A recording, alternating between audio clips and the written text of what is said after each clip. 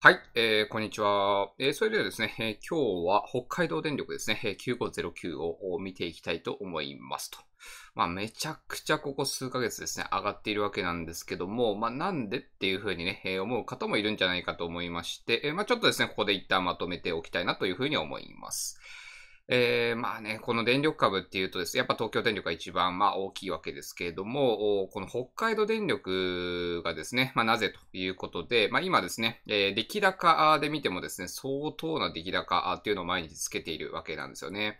で、えー、まあそういうところまたちょっとね、後で見ていこうかなというふうに思いますけども、まあちょっと今ね、えー、注目されている背景と、いうことでいきますと、まあ、この電力株、まあ、北海道電力に限らずですね、電力会社っていうのは、まあ、要は電気を作って売るというような、まあ、すごいシンプルなビジネスなわけですよね。ただ、この会社の努力で、えー、利益を伸ばすっていうのは結構難しいわけですね。それはなぜかというと、その売電価格、電気の価格っていうのは、あまあ、政府のですね、えー、許可がいるわけなので、そんな簡単にじゃあ、あ利益を出したいかといって値上げするわけにもいかないということになるわけです。となると、じゃあどうやったら利益が増加するのかと言いますと、まずは電力発電のコストですね。コストを下げれば、えー、利益が出る。プラス、売電の量ですね。売電量。要は、電気の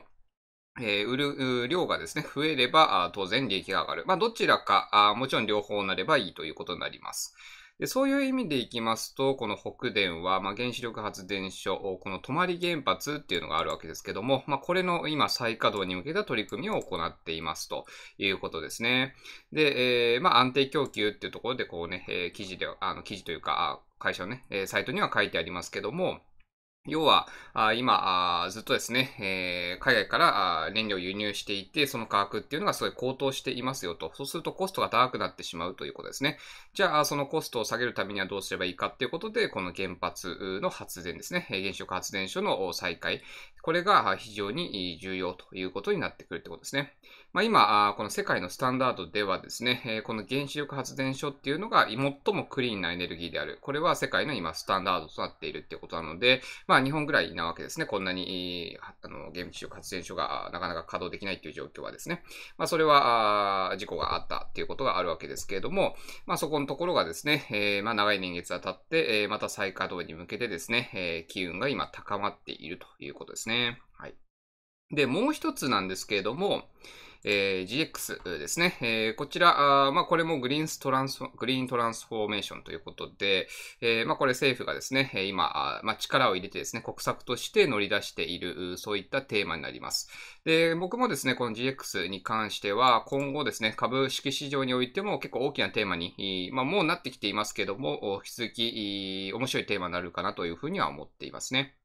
で、この北電としてもですね、この経済産業省の GX リーグ基本構想に賛同しているということで、えー、まあ、これのところですね、えー、ちょっと見ていきますと、これ、経済産業省のサイトではありますけども、えー、まあ、昨年2月のロシアに受ける、まあ、昨年2月のといってもこれ2023年の2月の話なんで、おととしなんですけれども、えー、まあ、エネルギーの安定供給の確保が世界的に課題となっている。特に日本はですね、えー、自国のエネルギーっていうのがあまりないわけですから、特にですね、この原発が必要なんですよね。そういったところで、えー、エネルギーの安定供給、それから経済成長、脱炭素ですね。まあ、これを GX というふうにえー、GX を通じてですね、これを実現していこうという、まあ国としてですね、えー、お金を出してですね、やっていこうということで、えー、まあ資料とか見ますとね、なんか150兆円を10年で使うっていうようなね、まあそういったあかなり腰を入れた政策になってくるのかなというふうに思います。まあそれに当然ですね、えー、北海道電力っていうところもそこに賛同していくということで、えー、まあ国を挙げてのですね、この GX 銘柄としてもですね、やっぱり引き続き注目をされるということですね。で、プラスなんですけども、やっぱ今ね、えー、かなり半導体関連のところですね。えー、まあ、この前も NVIDIA の決算ありましたけれども、この半導体っていうところでいけば、やっぱり注目されるのがラピダスですよね。まあ、これは2027年ですね、本格稼働を目指すということで、まあ、これは次世代の半導体工場っていうことで、まあ、いくつかの会社がですね、出資をして、まあ、もちろん国も出資をしてですね、えー、まあ、日本としてですね、日本連合みたいな形で、えー、半導体、ちょっと盛り上げていくというような形。で、これがですね、まあ、北海道に工場を作るということになってるわけなんですけども、当然この北海道ということであれば北海道電力だよねっていうことで、まあ、先ほど言ったコストを下げる。要は原発でコストを下げるっていうこと、プラスその売電ですよね。売電の量っていうことを、で、え、まあ、非常にですね、この半導体工場っていうのは、まあ、莫大な電力をですね、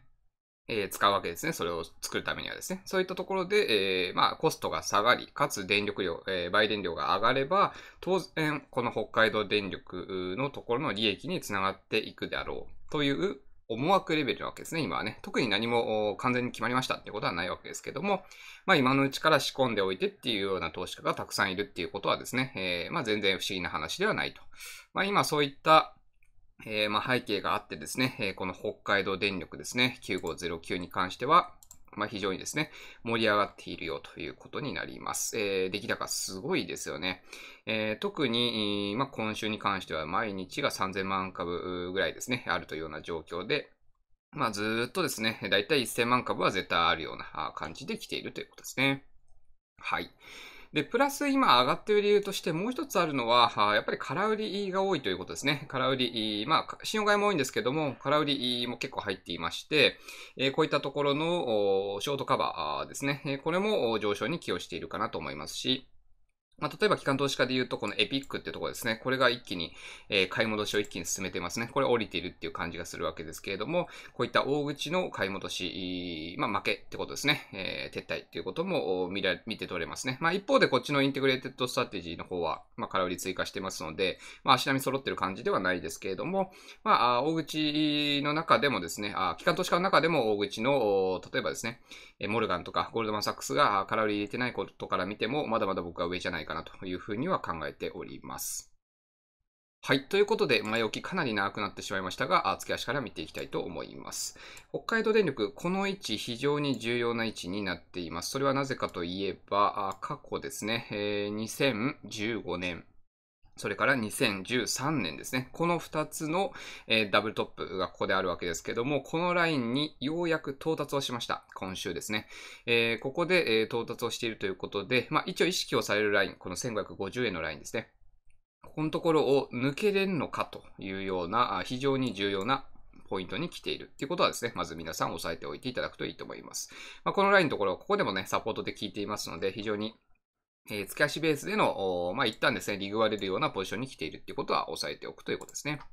それから週足で見ていきますと、めちゃくちゃ強いですね。えー、まあ大体2024年の2月ぐらいからですかね。えー、今年の2月ぐらいからずっとですね、えー、全くこの調整という調整を挟むことなくですね、えー、来ているっていうことになります。特にですね、えー、この1200円付近は結構揉み合いましたけれども、そこを抜けてからもぐっとですね、上げてきていて、えー、月足ベースの今サポートに来ているわけですね。なので、えー、今のところ週足ベースでも弱いところは全く見られない。かつ、週足ベースのこの出来高を見てもですね、上に行くほど今伸びるような動きっていうのがここ数週間も出ていますので、まあ、ここで一旦ですね、止まったかに見えた北海道電力の勢いっていうのもまた続伸というような形ですね。それから日足。はい。日足で見ていきますと、こういった上昇トレンドをきれいに描いていると思いますね。そしてそれに乗っかってという感じで、こちらもですね、ネックライン、えなってますけども、チャンネルラインですね。チャンネルラインもこう引いていますけども、まあ、この辺のところも意識はされているのかなというような形で見ていますので、一応この斜め軸はこの日本軸で見ています。そして横軸で見ていきますと、今サポートとなっているのが、まあ、そんなに硬くはないと思うんですけど、1400円、えー、ちょっと上ですね。1430円ぐらいのラインですね。そして上のところでいきますと、1550円のラインですね。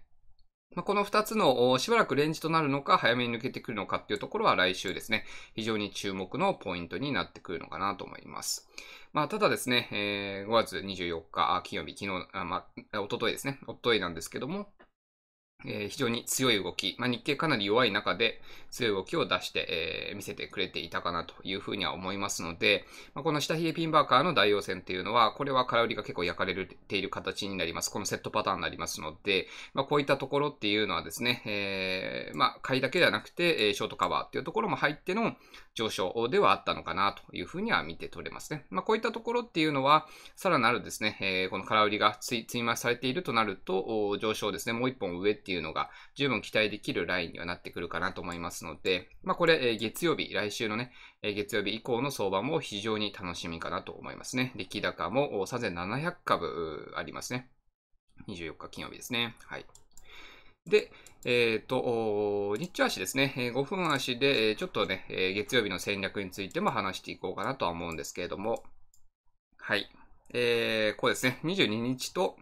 24日でですね、まあ、ほぼほぼ同じ値位置、だいたい1500、まあ、80円ぐらいですかね。この辺のラインのところで、えー、一旦ですね、えー、まあ、大きい意味ではダブルトップみたいな形になっているということですね。そして出来高玉に見ますと、1550円のところですね。これも覚えやすいと思いますので、もう1550でいいと思います。なので、このラインっていうのが、えー、かなりですね、え、まあ、売り買い、拮抗しているようなラインになります。なので、スタート位置で、これは倍分けをするという形になりまして、一番有利なのが1550円。このの出来高溜まりよりも上でスタートした場合ですね。これは非常に上を目指しやすい形になりますので、まあ、第一目標としてはですね、一旦はこの1508円目指すんですけども、それを抜けていくような動きがあるかどうか。まあ、これが一番有利かなと思います。もし下からスタートしちゃう場合に関してはですね、えー、下のラインが1435円。まあ、この辺のラインのところは結構強いのかなというふうには思いますので、まあ、この辺まで下ろしてくるようであれば、サポートを確認してからの反発狙いっていうところは一つ見てもいいと思いますね。ただその場合は、レンジ相場ということにはなりますので、少し上昇の勢いとしては緩やかになる可能性もあるので、まあ、そこは、あの、頭の中に入れておく必要っていうのは十分あるかなというふうには思います。はい。まあ、さすがにここからスタートってことはね、あの、ないとは思いますので、だらだら下がる場合はですね、えー、安易にこのレンジの内部でエントリーしていくっていうよりはですね、えー、まあ、下まで引きつけてからあエントリーした方が、まあ、有利かなというふうには思います。まあ、今はね、あの、スインガーの話をしているので、えー、まあ、デイトレであれば、あの、全然ですね、どっから入っても、いた状況を見ながらですね、エントリーっていうのはできると思いますので、まあ、そういうところはいつも作っているコンテンツとかをね、参考にしていただければと思います。はい。ということでですね、今回は北海道電力ですね、9509見ていきました。まあ、引き続きですね、テーマ的にも面白い銘柄だと思いますので、えー、中長期で、えー、ちょっと監視をね、強めていくのもいいんじゃないかなと思います。はい。ということで、えー、今日も最後までご視聴ありがとうございました。よろしければ、あ高評価ボタン、それからチャンネル登録、ぜひよろしくお願いします。それではまた次の動画でお会いしましょう。さよなら。